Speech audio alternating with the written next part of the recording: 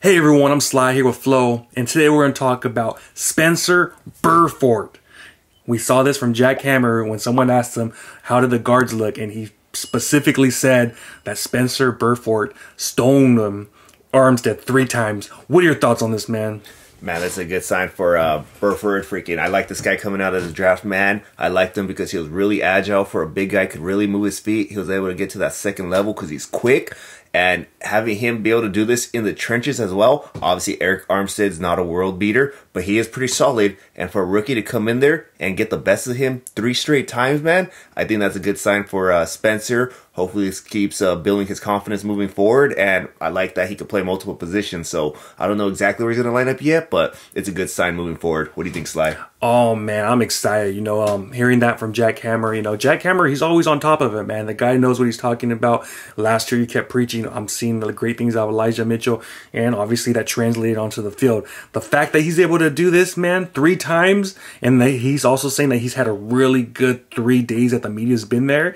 I'm excited, man. We all heard Spencer talk about how he, when he was getting drafted, he was ordering those freaking tacos, baby. He was on the phone with the line saying, "I'm getting tacos," and then all of a sudden, what happened? Happens, he gets a call from John Lynch. Hey, you're a 49er. The guy is awesome, man. Has a great personality. And the fact that he's doing this against a Pro Bowler, he's been in the Pro Bowl, Arik Armstead, and he ain't no scrub, you know? So the fact that he's doing this, having a great camp, I'm excited. The guy could play, he played tackle in uh, college and he played some guard.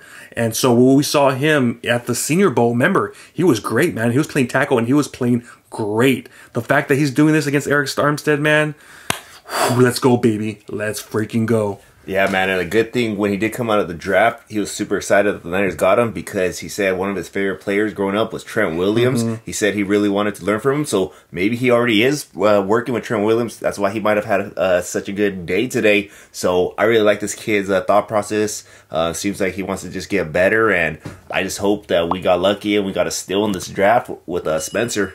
Yeah, man, I'm excited, and he's always posting stuff of uh, Trent Williams. I think today he posted a clip of Trent Williams just manhandling some guy.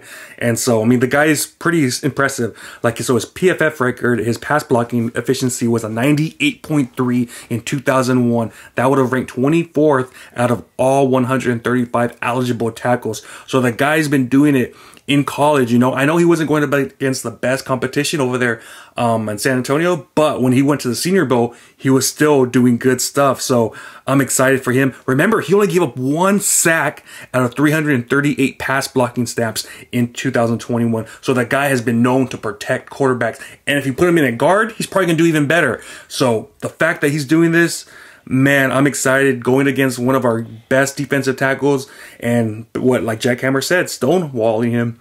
It's a good sign, man. So, um, one guy he went up against in college that we talked about before, Flo, do you remember we were talking about Western Kentucky's D'Angelo Malone? Mm-hmm. That was his best PFF grade out there, guys. That was his highest grade. He absolutely dominated D'Angelo Malone, and he got drafted, I believe, third, fourth round, and we got drafted. We were like, damn it, there goes D'Angelo. But guess what? Spencer dominated D'Angelo in college. So, I mean, we're seeing good things come out right now out of training camp. OTs, excuse me, from Spencer.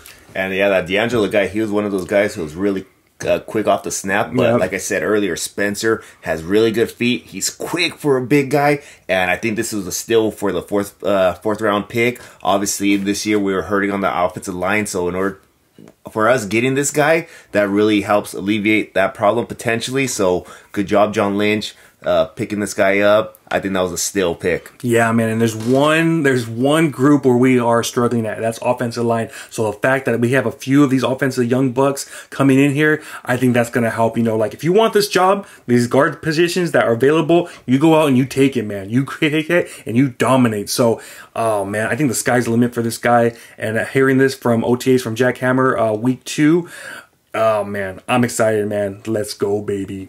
All right. Well, hopefully we can hear more good things coming from Spencer's way. You guys let us know in the comments what you guys think about this. Like, comment, subscribe, hit that notification bell. We'll see y'all next time. Peace. Peace.